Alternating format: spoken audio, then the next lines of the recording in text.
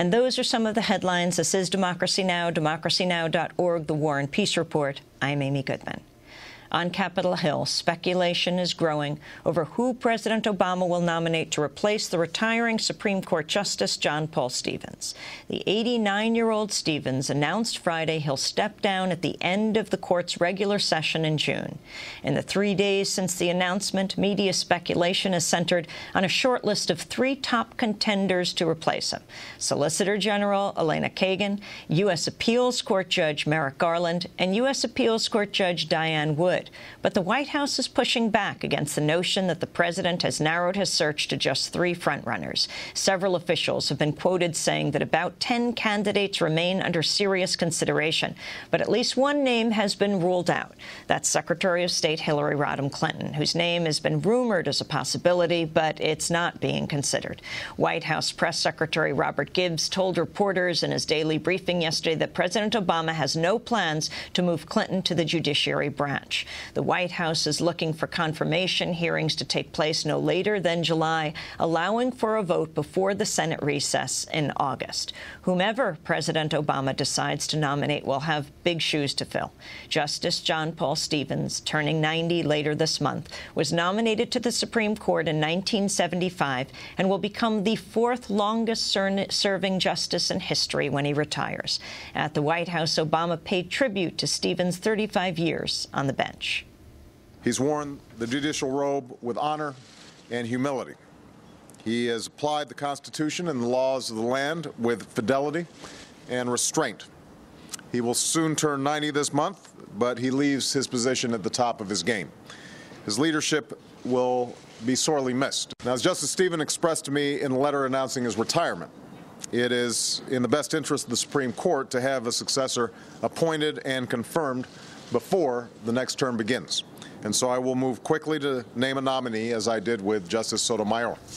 Stevens has long been regarded as the leader of the liberal wing of the Supreme Court. The Alliance for Justice said in a statement, quote, Justice Stevens has become an unparalleled champion of the Constitution in the face of the court's increasingly conservative jurisprudential trend. He's emerged in the past decade as one of the court's most vocal and eloquent spokespersons for individual liberties, separation of powers, and equal access to justice. Nan Aron, president of the Alliance for Justice. She joins us today from San Francisco. And joining us via Democracy Now! video stream, Glenn Greenwald, constitutional law attorney and political and legal blogger for Salon.com. But Aron, we're going to begin with you to look at the legacy of Justice Stevens. Talk about the key decisions he was involved in. But start off by just what he represents, having begun, well, by being nominated by President Ford. Thank you, Amy, and it's, it's good to be here. Uh, 34 years ago, he was appointed as a Republican to the United States Supreme Court.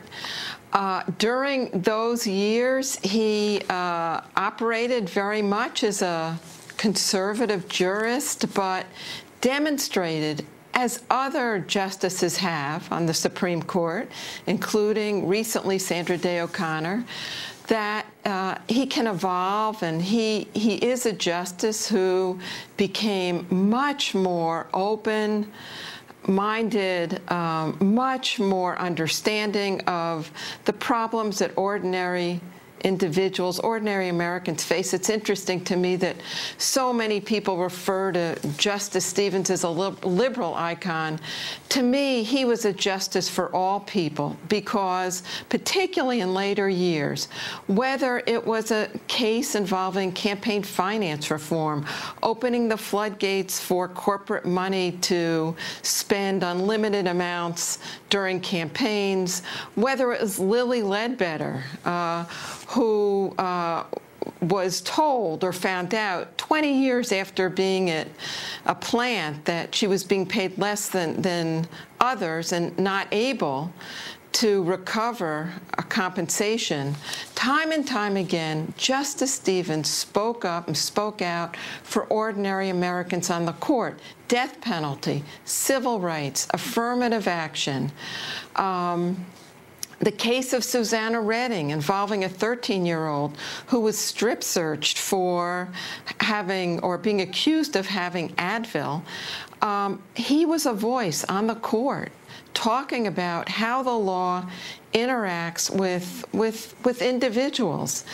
And particularly now, at a time when the court uh, directed uh, driven by Justice Chief Justice Roberts um, is on a campaign to tilt uh, the court in a very rightward direction in, in favor of big business, powerful corporate interests it was Justice Stevens who spoke out. Even Bush v. Gore, uh, the year 2000, his voice was the loudest, the clearest in saying what the justices done had done in that decision was wrong. So, as you said earlier, he leaves very, very large shoes to fill. And uh, we're hoping and counting on the president to pick a worthy successor to him. And then, Aron, talk about in the separations of power and due process issue those two key decisions: Rasul versus Bush and uh, Hamdan versus Rumsfeld.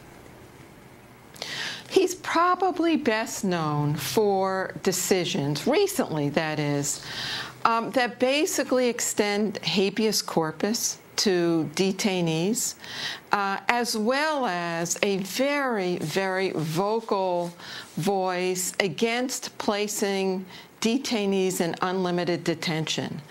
And of course, those decisions were rendered during the Bush administration at a time when the country was dealing with the aftermath of 9 11, and it took courage, it took independence for him to render those decisions and render them in, in the way that he did. So it's not just on issues involving corporate power, civil rights, women's rights, but probably most importantly on executive power, he will be best remembered recently for uh, trying to place some limits on expanding executive power the, over, over the rest of government this interesting story when he clerked for another Supreme Court Justice, Wiley Rutledge, um, collaborating with him in his lengthy dissent in a 1948 case involving the wartime detention of German-born U.S. citizens. He cited that yeah, later. I mean, he's. Yes, absolutely. He was a justice who served in the military and from time to time would bring in experiences, principles that he had learned over, the, over his military years. So, in fact, he was a, a staunch believer in a strong military, but yet understood the importance of separation of powers and a limited role for the executive branch in certain circumstances. Um, and the issue of environmental protection. Um, the uh, five to four decision in Massachusetts versus EPA in 2007 explained that decision where he weighed in.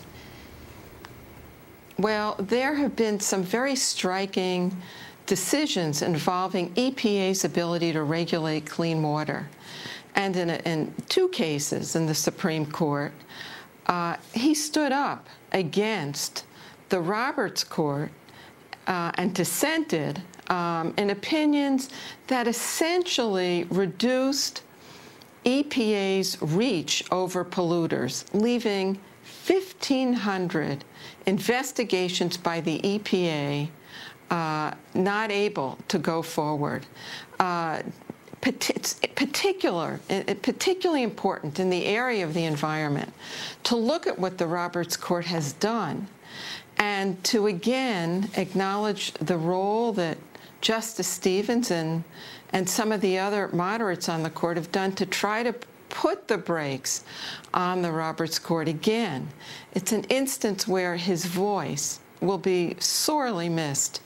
It's interesting uh, to me uh, that many people say it's just a vote on the Supreme Court, and therefore it doesn't really matter who it replaces Justice Stevens because he was a vote. And I think from looking at his 34 years on the court, he wasn't just a vote, but as some have said, he was a voice.